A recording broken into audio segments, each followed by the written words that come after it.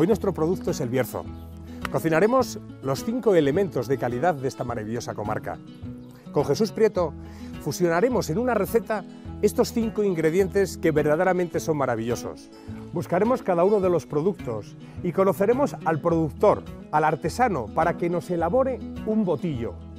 Todo esto iremos anotándolo en nuestro cuaderno, en el cuaderno del chef.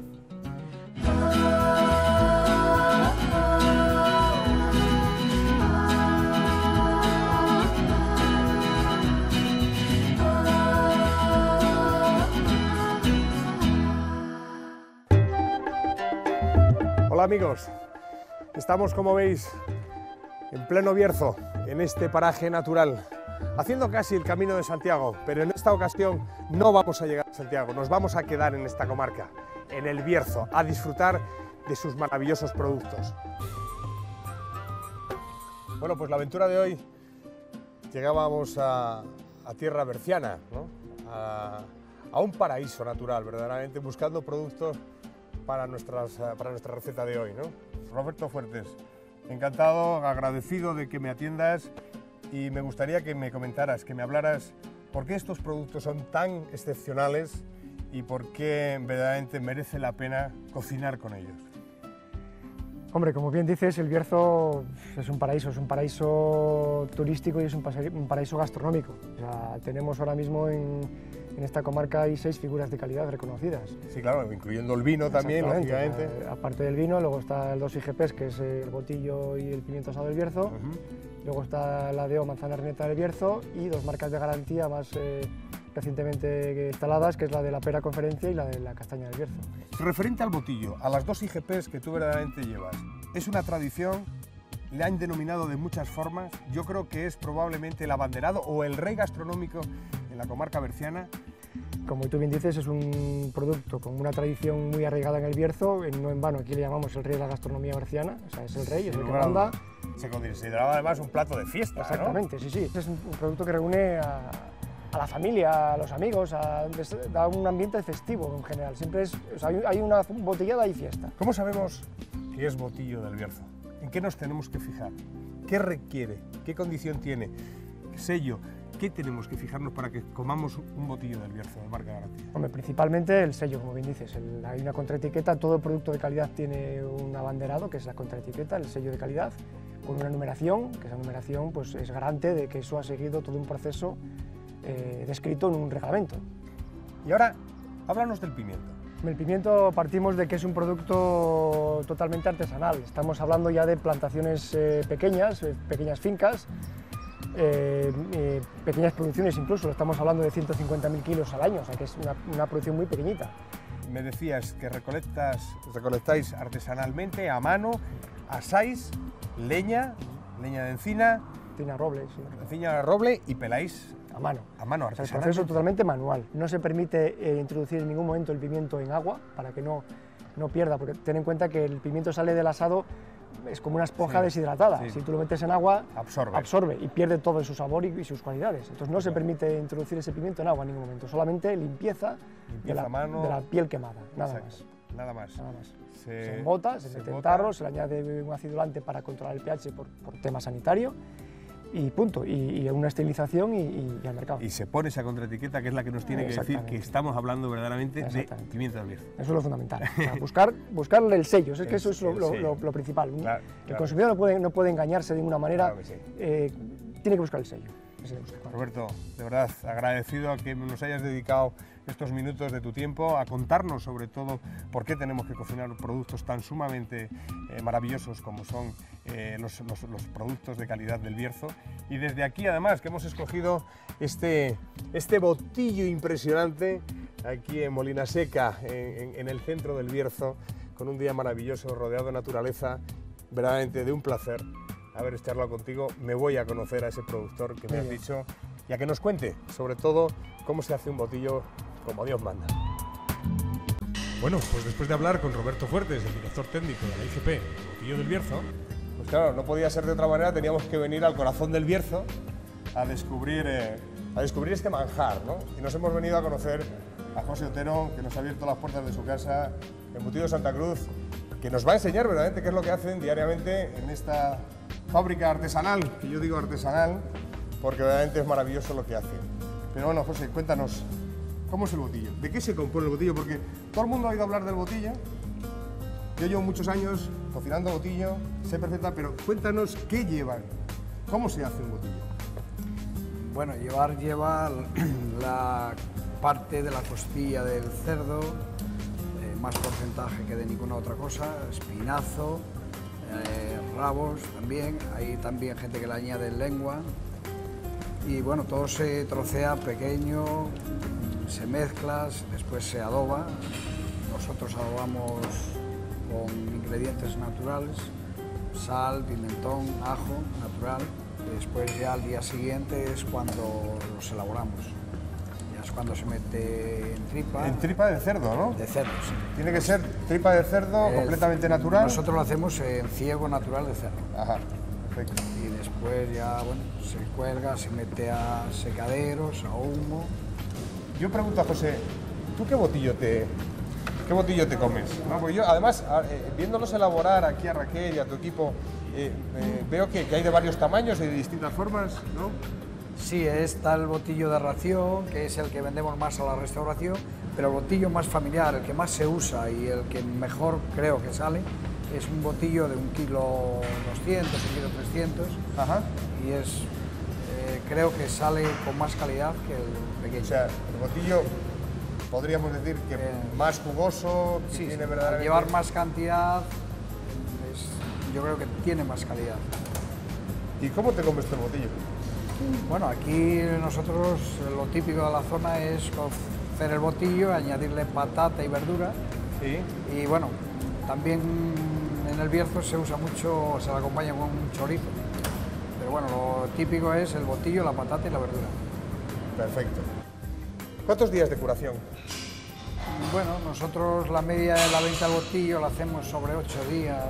Aproximadamente. Sí, aproximadamente con ocho días de vida. Una vez elaborado. Una vez elaborado con ocho días. Lo untáis el pimentón y luego lo dejáis secar tranquilamente. Y ahumar. Y ahumar durante. Sí, un par de días. Un par de días y luego curándolo aproximadamente. Sí, de los ocho días. Qué maravilla, pues nada, nos vamos a llevar este botillo. Este botillo va a ser uno de nuestros ingredientes de hoy, porque hoy vamos a cocinar el bierzo, nos lo vamos a cocinar entero, ya lo veréis. Entonces nos vamos a llevar este botillo. José, muchísimas gracias de verdad por, abrir, por abrirnos las puertas de, tu casa, por por contar con toda la gente y con todo tu equipo para enseñarnos cómo se hace un buen botillo y ya lo saben, que siempre que te sea botillo del Bierzo. Muchas gracias. Bueno, pues por el Bierzo, en pleno corazón de, de Ponferrada, vamos a buscar lo que nos faltaba, los ingredientes que nos vamos a cocinar. Todos los del Bierzo, productos de calidad. A una frutería, frutería Lupe. Vamos a buscar unas cuantas cosas. ¡Qué maravilla de sitio! Javier, Hola Pedro. ¿cómo estáis? Buenos días. ¿Qué tal estás? ¿Qué tal? Muy bien. Encantado de estar en tu casa. Dos besazos, guapa. ¿Qué tal, Lupe? Muy bien. Muy bien, muy bien. Aquí visitando el Bierzo y disfrutando de, vuestro, de vuestra tierra. Vuestra tierra que es la mía, que narices también, ¿no? Yo de Castilla León. Oye, necesitaba producto de aquí del Bierzo. Me apetecía llevar porque quiero cocinar con un amigo hoy productos del Bierzo, ¿no? He cogido un botillo ahí en casa de otro amigo y me apetecía trabajar con pera, con manzana, con castañas, los, verdaderamente tres productos que me parecen excepcionales dentro de lo que son alimentos de calidad del Bierzo.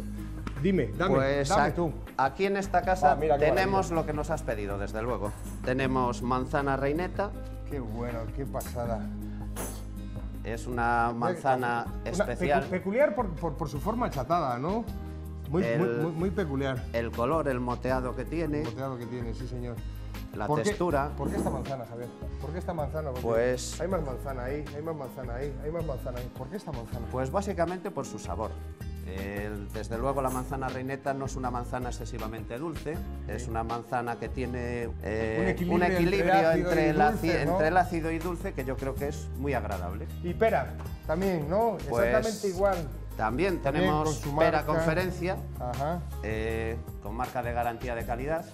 Y bueno, es una pera, desde luego, eh, súper jugosa. Súper jugosa. Esa yo creo que y es dulce, la, ¿no? Y dulce, vamos, por, supuesto. Yo creo que es la principal característica de, esta pera. Y luego veo por aquí castañas, ¿no? Pues sí, castañas del Bierzo. Qué maravilla, qué castañas. Estas eh, están envasadas, no ahora porque, bueno, Todavía no estamos en temporada y bueno, hay que cuidarlas de esta manera para que se puedan conservar. Claro, pero podemos hacer cosas con ellas, ya lo veréis cómo podremos hacer cosas con ellas. Pero tiene una peculiaridad eh, especial la castaña del Bierzo, que es un sabor tremendo, ¿no, Javier? Y una dulzura eh, formidable, ¿no? Es exageradamente dulce. Que no tiene nada que ver con ninguna otra castaña del bueno, mundo. Eh, las otras, es, para mí, serían se podrían calificar hasta de bravas. bueno, pues me vas a dar castañas, peras y manzanas. Y me las, llevo, me las voy a llevar a cocinar con, con un gran amigo que espero que saquemos un plato. Por favor, Javier, prepárame un poquito de todo esto. Tus deseos son órdenes, Pedro. Gracias. Así.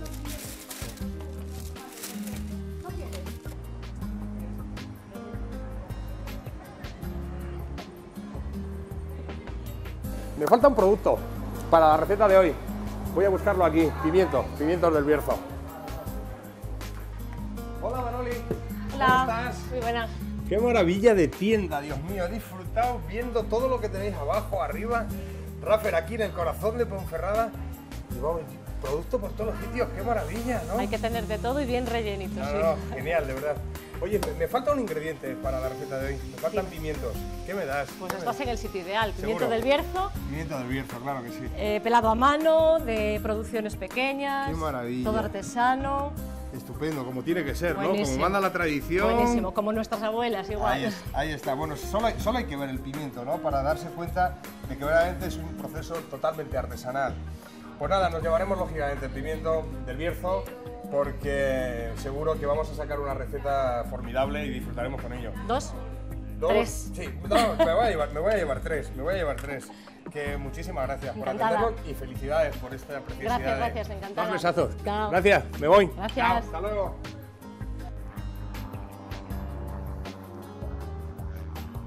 Todavía no es la temporada en la cual la pera esté en su estado óptimo. Todavía está demasiado joven, pero quería sobre todo mostraros cómo van, con qué belleza tan eh, abrumadora. Ya huele y todavía están verdes. Las dejaremos crecer. Será formidable disfrutar de ellas.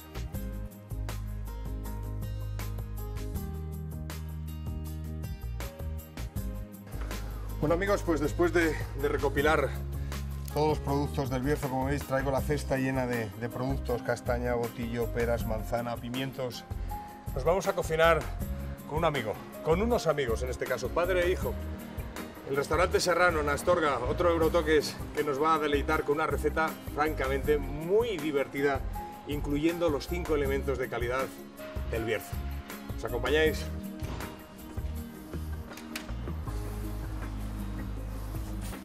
Qué maravilla poder compartir eh, cocina, profesión y momentos además con dos amigos. Además, padre e hijo, dos generaciones, cocineros, eh, cocineros de toda la vida. Jesús y Jesús, de Restaurante Serrano, Eurotoques eh, como yo y, verdaderamente algo que merece la pena conocer. Les he hecho una propuesta, una propuesta además divertida, me han dicho que sí y vamos con ello, ¿no? Les propuse qué podríamos hacer con los cinco productos, como os he contado a lo largo de todo el programa, con los cinco productos de calidad del Bierzo. El botillo, la manzana, la pera, la castaña y los pimientos. Y me dijeron que lo iban a hacer en una receta sola. Así que les voy a dejar que ellos empiecen a contar cómo le han dado rienda suelta a su imaginación desde cosas tradicionales, ¿eh? desde cocer botillo, como toda la vida lo han hecho, como les enseñaron los que antes estuvieron que nosotros y que merecen todo el respeto, y luego darle un toque de imaginación con la juventud de, su hijo y el atrevimiento que me parece que hoy en día debemos de tener en las cocinas de Castilla y León. Jesús, encantado de estar en tu casa. Gracias por abrir las puertas al cuaderno del chef. Y, eh, Jesús, hijo, gracias por acompañarnos y por disfrutar de este momento de cocina entre amigos. ¿Qué nos vais a hacer? Pues hoy, además ha sido como muy, como una lucha, ¿no? Porque a mí cuando me lo propusiste, digo, Jesús, la, idea que tiene, la, proyección que tiene de cocina totalmente distinta, digo, yo con el botillo me arreglo, ¿sabes? Un botillo lo pongo a cocer con patata, berza, garbanzo. Y dice Jesús, hombre, por favor, somos cocineros de los toques, hay que darle nuestro sello de identidad, ¿no? ¿Y cómo podemos ser que estos cinco productos que tiene el Bierzo de esta esta calidad, seamos capaces de, fusionarlo. Se rompió la cabeza y dijo, yo creo que podemos hacerlo totalmente distinto y hacer un plato de, de presentación, en un plato para poder ver cómo evoluciona desde la tradición. Bueno, pues aquí te he traído lo que he conseguido pues esto, toda esta mañana que me he recorrido el Bierzo y sus alrededores. Productos de primera línea. Productos impresionantes. Entonces he traído eso, un botillo de un kilo aproximadamente que me parece excepcional. Luego me he ido a recorrer unas fruterías y he encontrado estos dos productos que se me han caído las lágrimas. Estas castañas, que bueno, que ahora las hemos tenido que coger lógicamente deshidratadas, pero que sé que vosotros le vais a dar un toque hidratándolas y demás, que me parecen formidables, únicas. Ese dulzor que tiene la castaña del Bierzo no la encuentro en ningún otro sitio. Y luego, por último, lógicamente, pues estos pimientos, que aparte de un montón de propiedades, de vitaminas, me han contado montones de cosas de ellos. Así que contarme ahora ya qué vais a hacer lo primero es coger el botillo y, meterlo en agua, tiene, dependiendo del peso, y me has traído uno de, de, un kilo, que es lo que normalmente necesita para comer dos personas, hmm. lo vamos a poner a cocer tapado de agua, desde agua fría, y tiene que estar cociendo como mínimo dos horas y media. Importante, importante sobre todo la puntualización que ha hecho, desde agua fría, napado completamente de agua, ¿no? Eso es importante. Totalmente tapado de agua. Entero, no, Lo, vas, no lo vas a bredar con nada, no lo vas a tapar con nada. Nada. Lo importante para que no se reviente la piel es que no hierva a borbotón, sino que sea hervir tranquilamente y importantísimo, no tiene que estar tapado, porque si tapamos lo que hace ese vacío que hace, hace que cuezca mucho antes. hacemos hacemos efecto, de, efecto de olla a presión, ¿no? Al tapar las cosas. Entonces dejamos que ese aire deje para que pueda cocer. ¿Y no rompe? No rompe.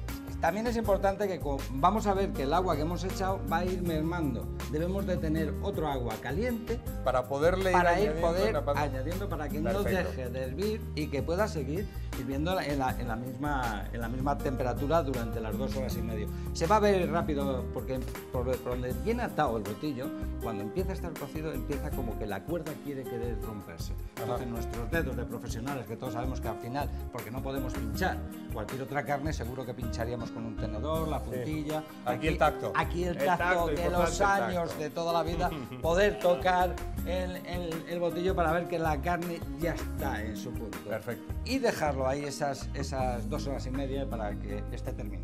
Muy bien. ¿Qué haríamos con la manzana? La manzana la vamos a pelar y la vamos a hacer un tratamiento especial con agua y limón para que no se nos ponga negra y, la, y, la, vamos a escarchar como se escarchan ah, las patatas y la vamos a cocer como si fueran patatas. Vamos a, engañar a la vista, que es lo importante, no al sabor, sino a la vista. ¿Vas a hacer de la, de la manzana una patata? Una patata, una patata cocida porque creo que ahí es el botillo, es el botillo tradicional, pero ya sabes. Juegan con los mismos elementos, recordando la receta tradicional, pero con y con algo, con algo que teníamos aquí antes, que la manzana sí la teníamos, pero la patata no. Está claro, la patata vino nuestra, sí señor. Entonces, con la manzana sí, señor. un producto que teníamos aquí. Maravilloso Jesús, ese, Muy buena observación. Nos ha dejado ahí, ahí estamos. Esto es lo que haremos y la reservaremos en su caldo caliente. Al final llevará su chorrito de aceite, como si fuera totalmente esa patata cocida que acompaña al botillo. Perfecto. Continuamos con la pera. La pera no la vamos a pelar, sino que solamente la vamos a, lavar y la vamos a cortar, le vamos a quitar las pepitas, la vamos a cortar juliana como si fuera repollo, un berzo. ¿eh? ¿Para qué? Para que dé esa sensación la vamos a saltear ligeramente a punto para que nos quede totalmente dura. O sea, Simplemente salteada, muy sutilmente. Un segundo, pum. Vamos a hacer un pequeño refrito de ajo a la misma vez, de ajo con pimiento, simulando ese ajo arriedo que va a estar Qué bueno. con, la berza. Como si fuera, ya tenemos otro producto más que va a ir acompañando el botillo. Siguiente paso. Jugaríamos con, con la castaña. ¿La castaña?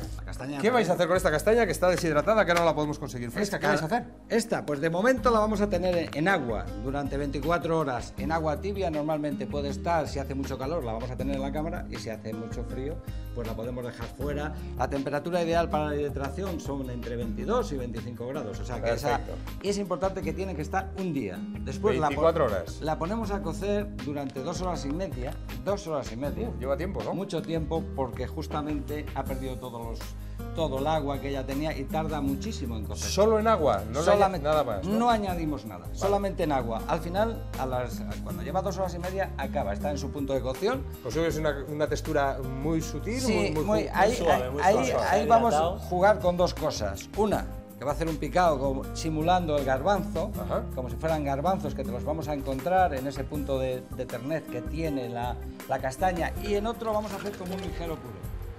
Una, una crema muy, muy liviana que va a poner Jesús ahí al final. Y por último nos quedarían los pimientos asados. Que bueno, yo los pimientos asados te puedo decir que le quitamos el precinto aquí con su sello de calidad y, tenedor y para adentro, ¿no? Pero ¿qué vais a hacer con el pimiento? En, el pimiento pues tenemos que hacer otra cosa. necesitamos el color que no tienen las demás cosas, ¿no? Los demás productos para darle esa vistosidad al plato. Pues vamos a hacer una pequeña mermelada con el agua de cocer el, el botillo y con azúcar vamos a hacer un punto de hebra. Cuando eso esté, añadimos los pimientos, añadimos los pimientos y lo vamos a triturar y vamos a hacer un aire, un aire que al final va a ir en el plato para dar como el jugo del caldo del botillo lleva la grasa esa que hemos simplificado. ¿Cuántas veces has cocido botillo? Y cuando estás cociendo la espuma, de la espuma, de las impurezas que se llama, pues lo vamos a representar en el plato. Eso que nosotros siempre decimos y que además que luchamos tanto los eurotoques por quitar de los platos aquello que hoy en día ya no es tan necesario como son las grasas saturadas, pero que verdaderamente nos aportan visualmente sobre todo esa gratitud. Exactamente, al paladar y eso lo van a conseguir con el pimiento. Oye, me parece formidable, vamos a ponernos a, trabajar y seguro que saldrá un plato, no, un platazo. manos a la obra, que manos tenemos entre todos los seis, yo creo que podemos hacerlo bien. Seguro que sí, vamos a disfrutar, nos divertimos con ello, venga. Bueno, pues hemos hecho un puré de castaña y lo primero que hacemos es la base, para que cada vez que comemos un poquitito de, botillo, lo tengamos, que nos una un poco de, de nexo de unión, ¿verdad? De nexo de unión, qué bueno. El siguiente paso. El siguiente paso, que lo, que lo, va a hacer el jefe. Vamos con el botillo. El maestro ha desmenuzado el botillo, como veis. Ahí vamos. Y simplemente por lo que le vamos a poner ya eh, libre de huesos, ¿vale? simplemente la carne. Ya, ya, sin huesos. Para que sea más fácil de comer. Perfecto. Más fácil. La pera, que después del tratamiento que le hemos dado, mirar qué textura, qué color ¿Qué olor? No espera, parece berza. parece berza. La falsa berza, que la hemos hecho con esta pera conferencia, la vamos a hacer simplemente en ese guiño que parece berza y que no es berza, y que la vamos a poner, si os parece bien, ahí. Seguimos con el siguiente paso que Seguimos. Después de una buena berza, nosotros, mi madre, desde siempre, mi madre Telvi, hace una patata escarchada que nosotros la hemos hecho con manzana reineta, manzana reineta del Bierzo. Manzana reineta del Bierzo. Yo creo que es una patata. Qué buena que una patata. tiene. Y bueno, la he probado, no se puede mejorar, de verdad. Después de la patata, le vamos a hacer un guiño al garbanzo, que lo hacemos con las castañas. Con la castaña del Bierzo también. Para tener ese toque crujiente, aparte de la crema que ha hecho, ha, dejado eh, castañas enteras después de cocidas para que simulen, simulen sobre todo eh, o hagan la interpretación de ese garbanzo, de ese garbanzo cocido, ¿no? Eso es. Luego hicimos una mermelada con la que hemos hecho el aire, y vamos a aprovecharla para darle unos puntos de color. con los pimientos. Recuerden que era el quinto elemento yo creo que tiene un color maravilloso que da la forma con la que tratan el pimiento en el Bierzo. Exacto, aquí le falta todavía a las patatas.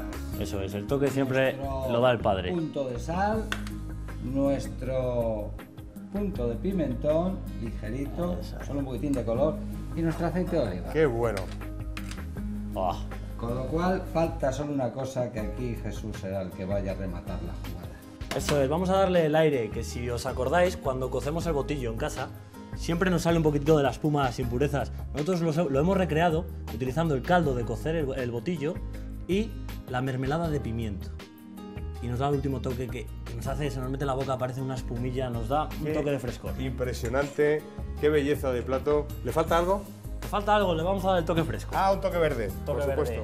Un toquecito verde. Para rematar el plato. Y lo tenemos, Pedro.